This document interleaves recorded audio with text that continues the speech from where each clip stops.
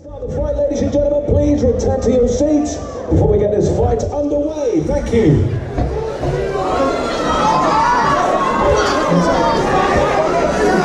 Guys, we're not starting until you sit down.